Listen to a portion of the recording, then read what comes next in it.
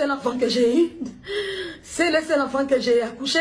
C'est la fille que j'ai eue à mes 16-17 ans, quand j'étais petite. Et j'ai souffert de ma vie. Et j'ai souffert. Et j'ai dit que ce que j'ai vécu, ma fille n'allait pas le vivre. Il fallait que je me batte pour pouvoir offrir une vie meilleure à ma fille.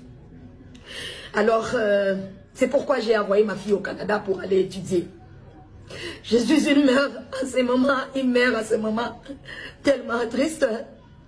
Mais Alex, je me dire, ma fille, reste forte.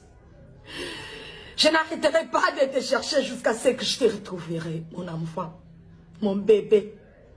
On a un slogan, ma fille et moi. Alex et maman contre le monde entier. Et je lui dis toujours, si quelque chose t'arrive, qu'est-ce qui m'arrivera à moi? Elle répond, tu vas mourir. Oui, Alexandra, je vais mourir. Hein. Je vais mourir, hein, mon bébé.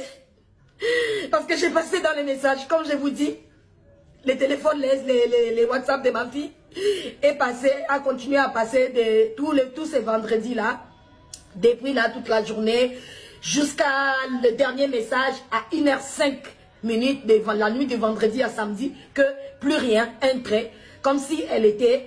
Euh, sur euh, Internet et, que, et puis on a coupé Internet, ou soit le téléphone est tombé le bat, parce que déjà, l'appel déjà normal ne passait plus.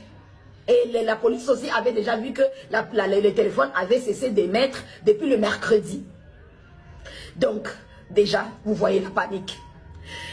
Et déjà, j'avais encore, dans les, on était encore dans l'espoir à voir comment est-ce qu'elle répondait, euh, truc, euh, comment est-ce qu'elle recevait sur les SMS et tout. Mais ce que je trouvais bizarre, c'est que connaissant ma fille, parce que c'est mon bébé, c'est ma princesse, c'est mon enfant, tout ce que j'ai eu, ou tout ce que j'ai fait, ou tout ce que j'ai été dans mon